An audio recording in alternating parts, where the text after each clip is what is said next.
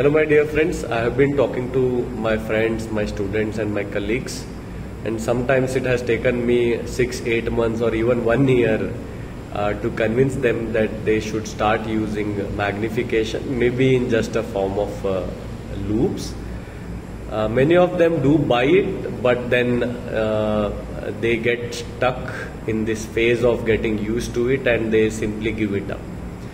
I also was in a similar situation, and after getting used to uh, use of loupes, I feel I can share some uh, very simple tips for you which you can incorporate in your practice so that you can get used to it.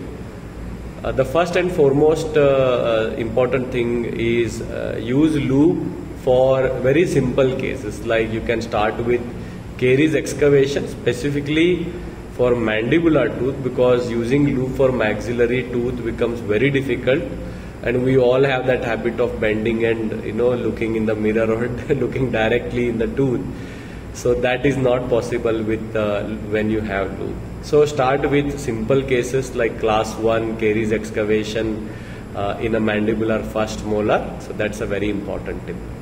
Second is uh, you should also uh, use loupe when you have a very calm patient who doesn't object uh, you know you using something new and uh, that's because see many times what happens is there are some patients who want treatment very fast. And suppose you are using loupe and in initial days and uh, if they come to know that you are trying something new and you are struggling with it they may not be very cooperative. But there are some patients who are very good they don't mind uh, you know you spending some extra time. Uh, and uh, such patients if you start uh, doing uh, treatment by using loupe then it becomes very easy rather than uh, you know using it in patients who are in too much hurry.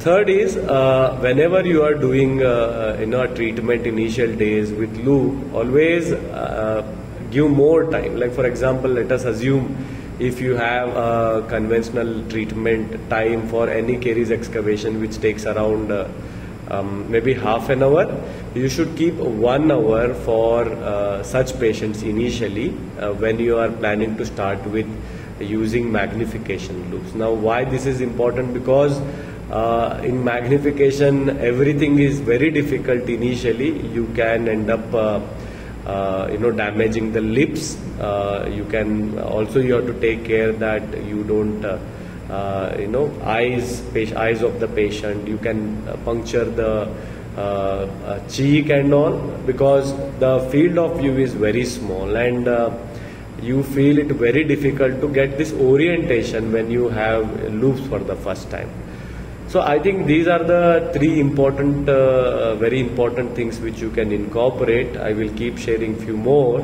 so that uh, it helps you to shift to magnification as soon as possible. Bye for now.